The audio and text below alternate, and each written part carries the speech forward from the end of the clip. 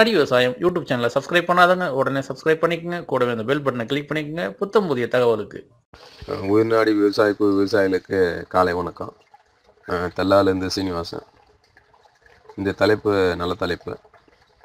பட்டத்தை பயிர் செய் தைப்பட்டம் எந்தெந்த பயிர்களை செய்யலாம் அப்படின்னு சொல்லிட்டு நம்ம குரூப் அட்மிரலாக அட்மின்லாம் அங்கே சேர்ந்து கேட்டிருக்காங்க. தைப்பட்டம் எடுத்தாவே பின்மணி காலம் அப்படின்னு சொல்லிட்டு நம்ம காலத்தை பிரிச்சுக்கலாம்.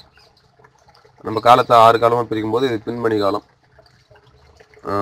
இதில் வந்து அனைத்து பயிருமே வந்து நல்லா வர வேண்டியது. வர வேண்டிய காலம் நல்லா வரும். அதனால் நம்ம வந்து எல்லாருமே செய்கிற பயிரை செய்யும் பயிரை கொஞ்சம் தவிர்த்து மாறுபட்ட பயிராக செய்யும்போது நல்ல மகசூல் எடுக்கிறது இல்லாமல் மகசூல் கம்மியாக இருந்தாலும் நல்ல லாபம் எடுக்கலாம். அதனால் இந்த பதிவில் நான் குறிப்பிடுறேன். இப்போ நம்ம தைப்பட்டம் எடுத்தோம்னா பின்மணி காலத்தில் காய்கறி பண்ணலாம். காய்கறி நம்ம தைப்படத்துலேயே ஸ்டார்டிங்லேருந்து தை ஒன்றுலேருந்து நடவு செய்யலாம். காய்கறியில் வந்து கத்தரி தக்காளி பிற்கன் புடலை பாகல் அதுக்கப்புறம் செடியாக வர இது போல் வந்து கொஞ்சம் மகசூல் அதிகமாக தரக்கூடிய காய்கறி பயிர்கள். அதுக்கப்புறம் பார்த்தோம்னா முக்கியமாக நம்ம வந்து தைக்கு அப்புறம் வந்து மழை இல்லாத வறட்சி மாநிலமாக இருக்கிறதுல திருவண்ணாமலை தருமபுரி பெரம்பலூர் கிருஷ்ணகிரி மாவட்டம் இப்போ வறட்சி மாவட்டம். அடுத்தது வந்து இந்த வருடம் வந்து பருவமழை பெய்யாதனால மதுரை அது சுத்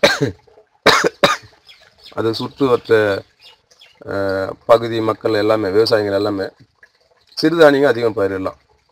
ஏன் கேட்டோன்னா சிறுதானியத்தில் நம்ம சும்மா அந்த தெளிப்பு நீர் பாசனம் இல்லைன்னா வாய்க்கால் பாசனம் மூலியம் ஒரு ரெண்டு தண்ணி இல்லை மூணு தண்ணி மேக்ஸிமம் வந்து நாலு தண்ணி கட்டினா போதும்.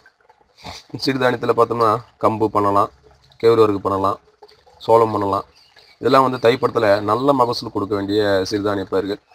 கம்பு சோளம் அஹ், கேழ்வரகு. இந்த மூணு வந்து நம்ம தைப்படத்தில் நல்லா சாகுபடி பண்ணலாம். அடுத்தது பார்த்தோம்னா எண்ணெய் வித்துக்கள். எண்ணெய் வித்துக்கள்னு பார்த்தோம்னா வேர்க்கடலை பண்ணலாம். வேர்க்கடலை வந்து தை ஒன்றுக்கே பண்ணணும். தை ஒன்று பண்ணோம்னா நல்ல மகசூல் கொடுக்கும். தை பத்துக்கு மேலே பண்ணால் கொஞ்சம் மகசூல் கம்மியாக வரும்.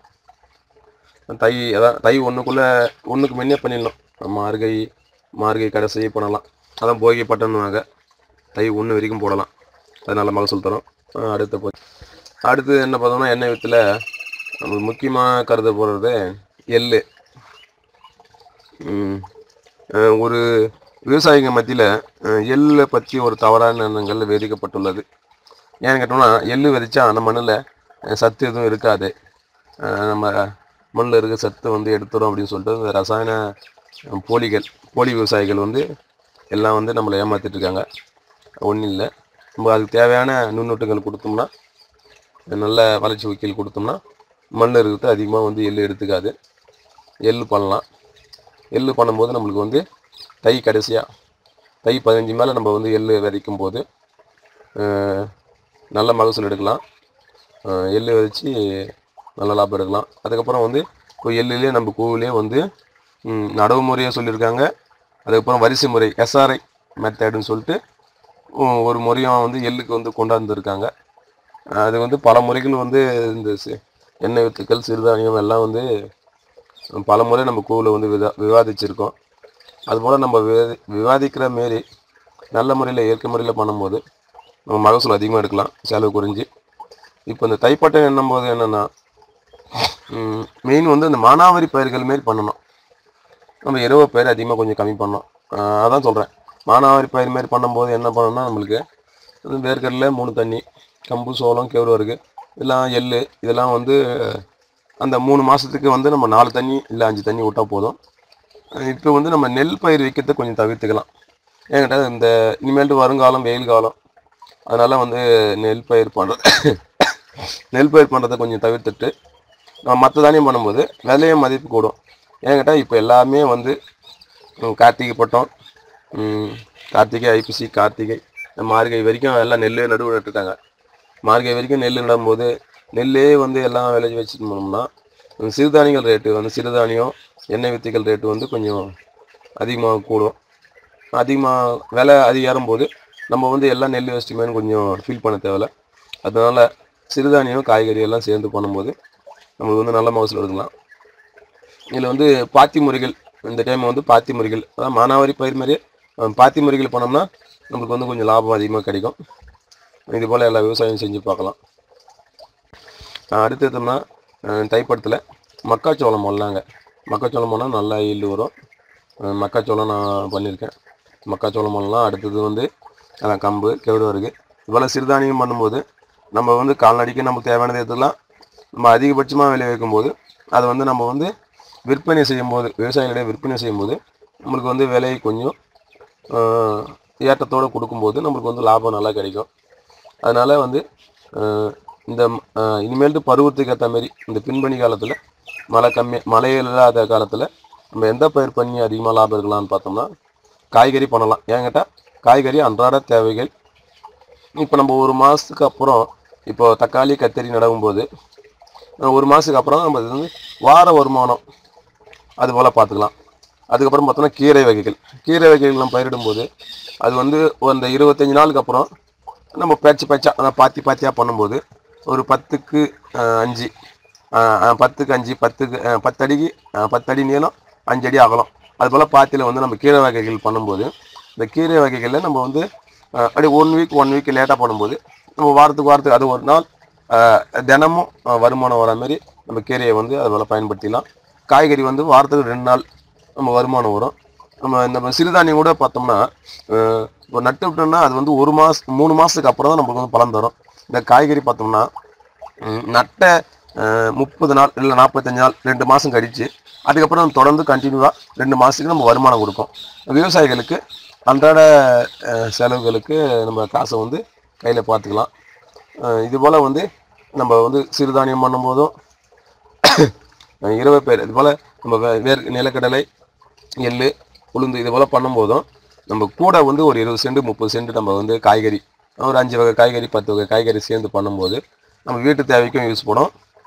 அடுத்தது நம்ம வந்து அது நம்ம வீட்டிலேயே விற்று கூட பக்கத்து வீட்டுக்காரங்களுக்கு நம்ம வில்லேஜ்லேயே கொடுத்து நம்ம அதில் ஒரு ஐநூறு ஆயிரம் அது போல் வந்து காசு நம்ம பார்த்துக்கலாம். வாரத்துக்கு ஒரு ஐநூறுரூவா கன்ஃபார்ம் வந்து ஒரு பத்து சென்ட் போட்டிங்கன்னா நீங்கள் வாரத்துக்கு ஐநூறுரூபாய்க்கு காய்கறி எடுத்துக்கலாம். அப்படின்னும் போது நம்மளுக்கு ஒரு நாலு வாரம் கிடைச்சாவோ போதும். ஒரு நாலாயிரம் பத்து சென்டில் வந்து ஒரு நாலாயிரம் கிடைச்சாவோ போதும். நல்ல லாபம் வரும். நம்ம வீட்டு காய்கறிக்கு நம்ம வெளியே போய் வாங்க வேண்டியதில்லை. அதுக்கப்புறம் கொஞ்சம் காய்கறி குறையும் போது நம்ம வந்து வீட்டு காய்கறி நம்ம காய் யூஸ் பண்ணிக்கலாம்.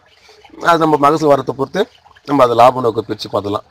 இதுபோல் வந்து தைப்படத்துக்கு ஏற்ற மாதிரி விவசாயிங்க தண்ணியை பார்த்து நெல்லுக்கு வந்து தண்ணியை வீணாக்காமல் அதிகமாக சிறுதானியங்கள் எண்ணெய் வித்து பயிர்கள் காய்கறி பயிர்கள் இது போல் பய பயிர்களை வச்சு நம்ம விவசாயிகள் பயனடைமாறு கேட்டுக்கொள்ளப்படுகிறது. நன்றிங்க. அடுத்து நெல் விவசாயம் செய்யும் விவசாயிகள்.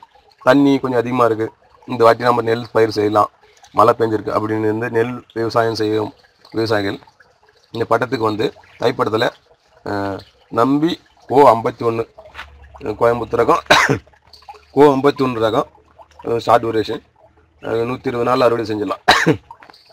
இந்த வந்து கோ ஐம்பத்தி கோ ஐம்பத்தி ஒன்று ரகம் நல்லா வந்து இந்த பின்பணி காலத்துக்கு நல்ல மகசூல் கொடுக்கும்.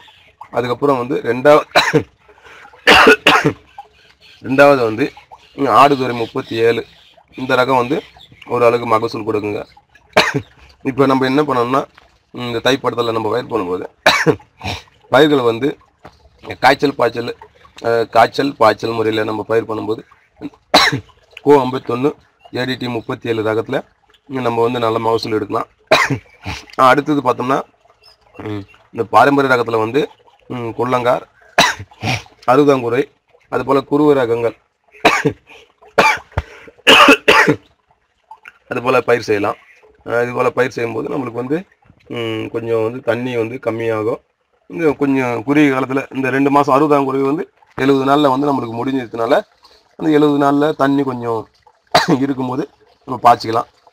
இந்த கோடை காலத்தில் வந்து பயிர்கள் மாட்டாத அளவுக்கு நம்ம குறுகிய கால நெல் பயிர்களை நம்ம பயிர் செய்யலாம்.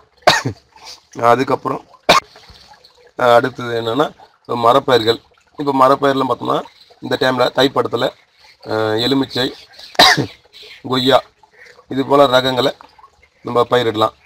அதுக்கப்புறம் பூச்செடி மல்லி அந்த சாமந்திங்கிற செண்டு மல்லி சாமந்திங்கிற செண்டு மல்லி மல்லிகை. இது போல் பூக்களும் இந்த தைப்படத்தில் நம்ம நடவு செய்யலாம். பின்பணி காலத்தினால நம்ம வந்து இந்த செடிங்களுக்கு பூச்செடிங்களுக்கு மரப்பயிருக்கெல்லாம் வந்து தெளிப்பு அதை சொட்டு நீர் சொட்டுவான் சொட்டு நீர் பாசனம் போட்டு அமுச்சிட்டோம்னா நம்மளுக்கு வந்து இந்த நாளில் வந்து நல்லா மரப்பயிரும் பூச்செடியும் நல்லா வரும். அதனால் நம்ம அடுத்த தைப்பட்டத்துக்கு அதுலேருந்து நம்ம காய் எடுக்கிற மாதிரி இந்த ஒரு வருஷம் ஒன்றரை வருஷத்தில் நம்ம வந்து தைப்பாட்டை நடவு செஞ்சோம்னா அடுத்தது வந்து காய்ச்சல் நாளில் காய் காய் பிடிக்கிறதுனால நம்மளுக்கு வந்து கொஞ்சம் ரேட்டு கிடைக்கும். அதனால் பூச்செடிகளும் பழ வகைகளும் இந்த தைப்படத்தில் நம்ம நடவு செய்யலாம். நன்றிங்க. முன்னாடி விவசாயம் யூடியூப் சேனலை சப்ஸ்கிரைப் பண்ணாதவங்க உடனே சப்ஸ்கிரைப் பண்ணிக்கங்க. கூடவே அந்த பெல் பட்டனை கிளிக் பண்ணிக்கங்க. புத்தம் புதிய தகவலுக்கு.